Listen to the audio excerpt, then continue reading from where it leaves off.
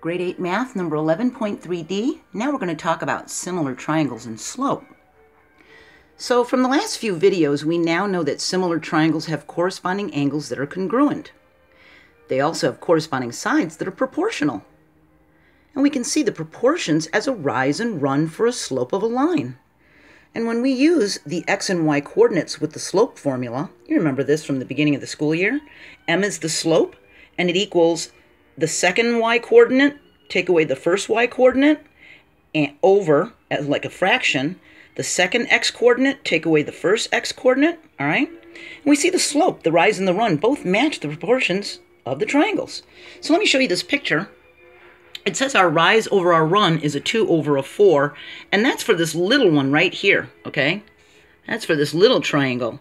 He's kind of nestled in the vertex of this bigger triangle. See that? So we've got line BC right here. That's a 2, 2 units. That's our rise. And between A and B is 4 units. That's our run. So BC, the green one right here, over AB, this one, like a fraction, is the rise over the run. And DE, this line right here, this line segment, is an 8 over AD, and we come all the way to this point because you don't come to B because the whole triangle starts here, doesn't it? So we would ignore that little line right here, wouldn't we? Because that's the big triangle all the way to A. So AD is a total of 16. See that? So we put the 8 over the 16. That's our rise and our run. See that? 2 over 4 and 8 over 16. See? Now, to use the slope formula, which a lot of you already know, but I'm just going to go over it really quick. We take the x and y coordinates for A, point A, and that's right here, isn't it? So on the x, it's a 5, and on the y, it's a 4. See that? For the x, it's a 5, and the y, it's a 4. We take point C. Point C is right here. That's a 9 for the x and a 6 for the y. 9 for the x, and a 6 for the y. So here's the y coordinates, and here's the x coordinates. This is y2, and that's y1. This is x2, and that's x1. So we're going to subtract. We're going to have y2, the 6, take away y1, the 4. 6 take away 2, 4 is 2. Then we got 9 take away 5. See how you start down here and you go up? 9 take away 5 is a 4. So look, we got 2 over 4, just like this was. That's BC over AB, just like we did here. It's BC over AB, see? We can do it for AE also. That would be A and E, see? A is at 5 and 4, so we write that down. The X is 5, the Y is 4, and E, the X is 21, and the Y is 12. The X is 21 right here, and the Y is 12. See that?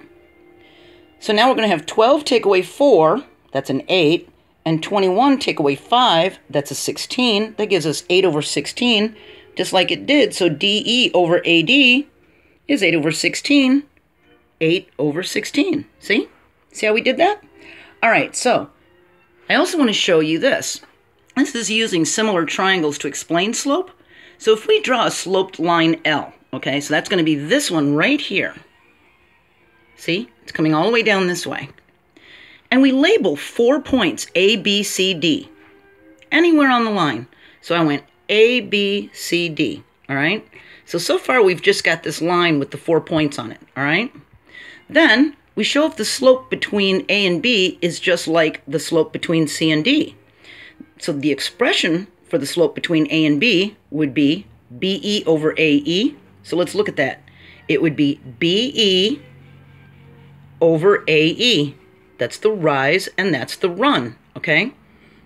And for C and D, it would be DF over CF.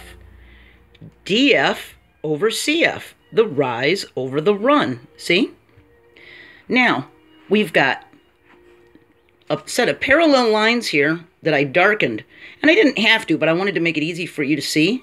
So because points A and E are on this line, this can be named line AE. See? This is line AE. And because C and F are on this line, they're points on this line, we can call this line line CF. See? And they make parallel lines. See that?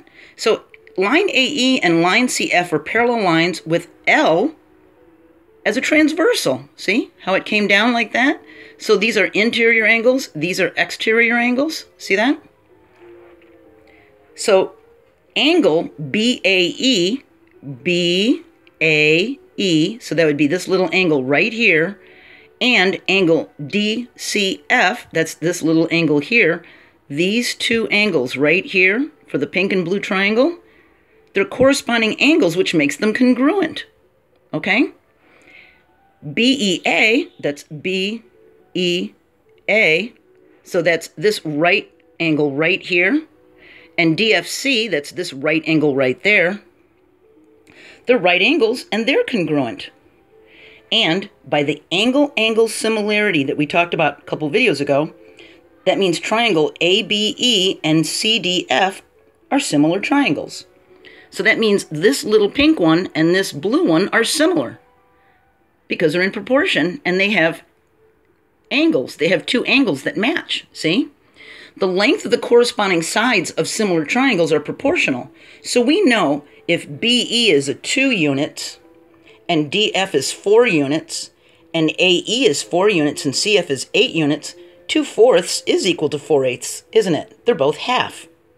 And we can write the proportion so the ratios compare parts of the same triangle.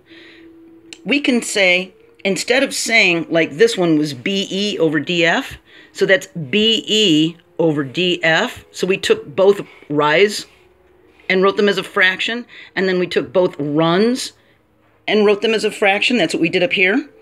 We can also take the same triangle and do it. So BE over AE, BE over AE is equal to DF over CF. See? 2 fourths is equal to 4 eighths. And this proportion shows the ratios are equal, so the slope of line L is constant. And even if we made and labeled other points on line L, we could put several other points on there and do the same thing. The slope would be the same because it's constant. It's a constant slope. All right? Does that make sense? I know that was a lot to take in. We're going to move on to 11.4a, and we're going to talk about the Pythagorean theorem. Okay?